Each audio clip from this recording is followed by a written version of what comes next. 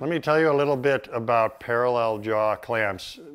Many years ago, like 20 years ago, when I first opened my shop, I had one pair of parallel jaw clamps.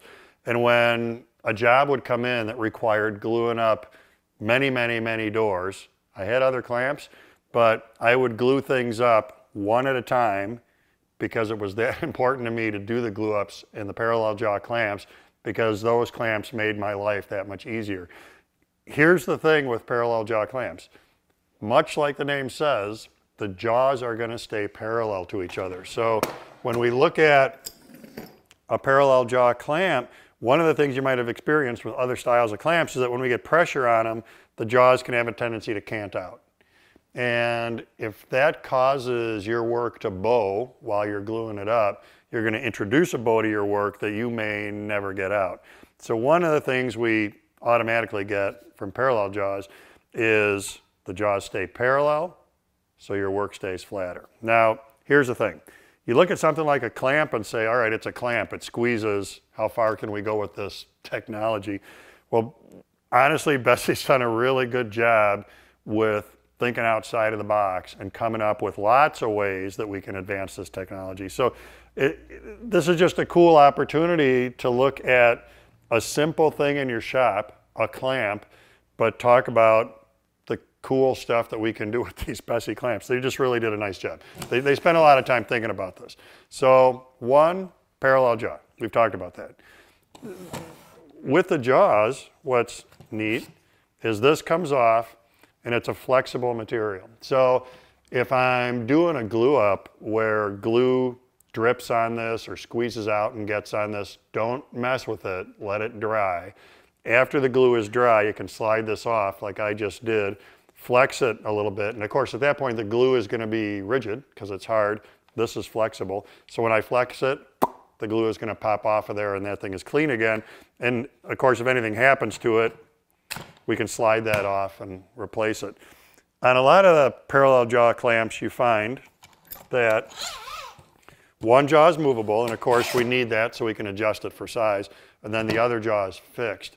So another cool thing they did here is they made it so that with the push of a button, the fixed jaw also can be moved. So what I like about that is I, I get into scenarios on my bench where um, if it's a longer clamp, if this is in a fixed position and this is here, I have so much bar sticking out this way that it gets hard to work with. So with this, what we can actually do is you could keep everything balanced by always working in the center of the bar, which is gonna make it easier to work with. While we're looking at this being opened up like this, let's talk about these guys. This is another one of these kind of like doy moments. Like, why didn't I think of that? These, which come with the clamps, go like this.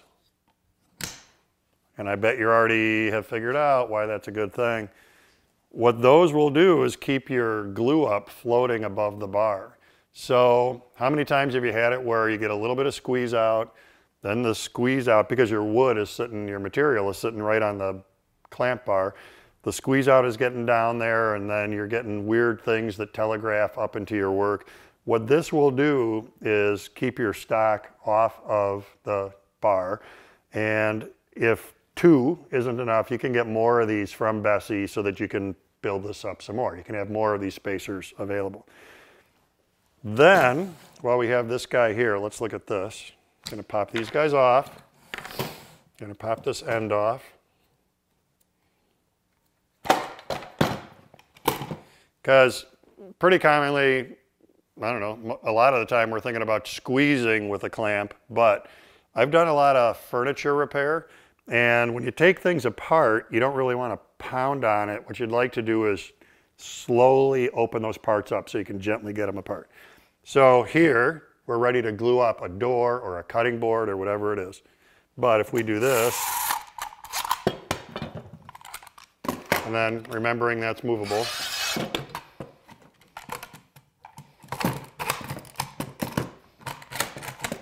Now, using these two jaws, we can advance this and spread. And we could do what I just did. Remember we took that off? Or, because this jaw is double-faced, we could simply turn this one around and put it back on and have a spreader. So it's another, it just is gonna do a good job of optimizing what you can do with these clamps in your shop because not only can we squeeze, but we can also spread. So now let's look at what's this big thing doing here.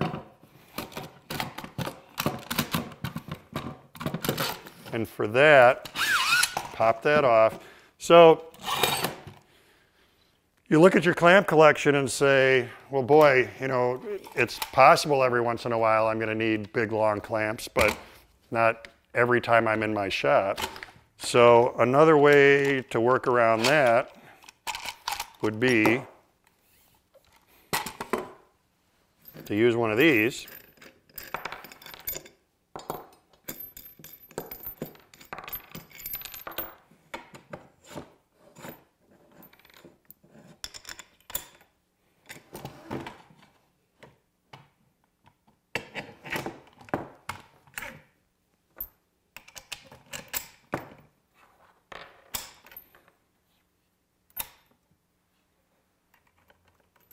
And what I've just done is made my two short clamps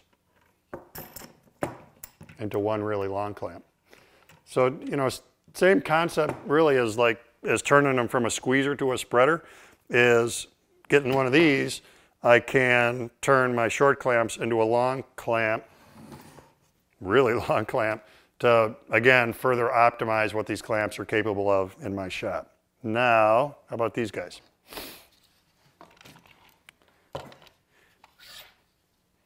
Remember that that pad comes off. So we can slide that off of the head.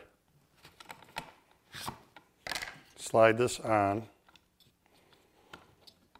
And it's dovetailed on. It's dovetailed. So once that's on there, it's not going to come off this way. It has to be slid on from the top. So it's going to stay engaged and it can stay in any vertical position on there that you want. And I'm doing this. What's the big deal? Well, this will go 15 degrees in either direction. So if you're putting something together that has a taper to it, rather than make a tapered caul to compensate for the angle in your part, this is going to accommodate that taper for you. And you could do one on this end, you could do one on both ends, depending on what your needs are. The other thing out of this is that it also is going to spread this pressure over a bigger area. So if I were doing a big tabletop, like I'm pointing at my workbench here, if I were doing a big edge-to-edge -edge glue up on a tabletop, I'd want to put these on so that I'm spreading that clamp pressure over a bigger area, getting a bigger cone of pressure, that's what comes off of these clamps, to make sure I have more uniform pressure on the wood so that it, the glue up goes better. So that's a cool accessory as well. These blocks let me use the parallel jaws and configure them into a, maybe like a gluing station is a good way to think of this. So the way it works is it's kind of a castle turret. The slots on this side go all the way to the bottom. The slots on this side go part way down. What that lets me do then is that clamp is going to sit down there the clamp I put in the other direction, I'm to run out of real estate, sits above it. So if you're putting something together that requires pressure in both directions, we don't have these clamps arguing with each other now about who gets priority because that block is going to automatically hold them off the table for you so that they're going to be configured right. So it just makes that whole process a whole lot easier to do. Another thing that I like is on the handles, I am so glad that we're away from the standard wooden handles. These grips are so much easier to grab onto than just a piece of painted or stained wood. So that automatically makes it easier to loosen and tighten the clamps. If you've got any kind of hand grip, hand pressure issues, they've also built in a screw there that'll take a six millimeter wrench so we could do this. So if that's not quite enough, you can add a little torque or crack them loose by popping an Allen wrench in there. Last thing let's have a look at, there's another feature on these that we should talk about. Let me get a clamp ready.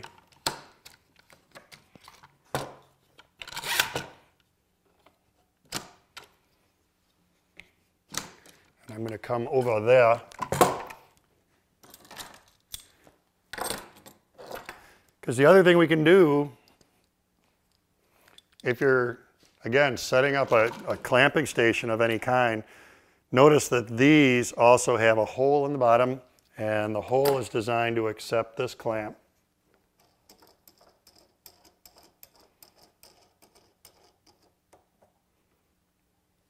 So I can secure this to my bench and make sure that it's not running away from me while I'm trying to do a complicated glue up. So net net, it's just, it's, it's neat to see the thought that Bessey has put into making what seems like, you know, a, a low-tech, simple device, a clamp, into something that really offers a lot of capabilities. So the, the Bessey Revo clamps are definitely worth a look and uh, check them out. And I think like me, you're gonna like having these in your shop.